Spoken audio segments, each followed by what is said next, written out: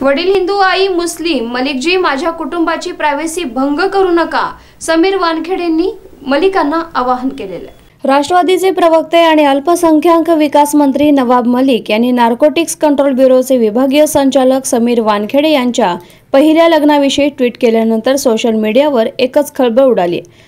नवाब मलिक माझ्या कुटुंबाची खासगी माहिती सोशल मीडियावर पब्लिश करत असून माझी बदनामी होत आहे असा दावा समीर वानखेडे यांनी प्रेस नोट जारी करत केलेला आहे. नवाब मलिक माझ्या कुटुंबाची खासगी माहिती सोशल मीडियावर पब्लिश करतायत. माझे वडील स्टेट एक्साईज विभागात सिनियर पी आय होते. दोन हजार सातमध्ये रिटायर्ड झालेत. माझे वडील ज्ञानदेव कचूरजी वानखेडे हिंदू आहेत तर आई जहिदा मुस्लिम होती. आमचे धरण धर्मनिरपेक्ष कुटुंब असून मला त्याचा अभिमान आहे. मी डॉक्टर शबाना कुरेशी यांच्याशी दोन हजार सहामध्ये लग्न केलं. दोन हजार सोळामध्ये आमचा परस्पर संमतीनं घटस्फोट झाला. त्यानंतर दोन हजार सतरामध्ये मी क्रांती दिनानाथ रेडकर यांच्याशी लग्न केले.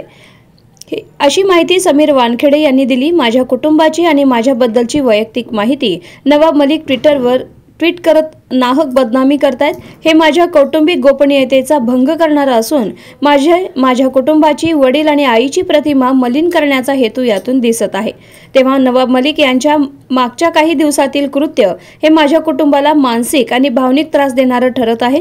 कुठल्याही कारणांशिवाय नवाब मलिक हे ज्या पद्धतीने आरोप करतायत त्यानं मला दुःख होत असल्याची भावना वानखेडेंनी व्यक्त केली आहे. Bureau report SBN Marathi.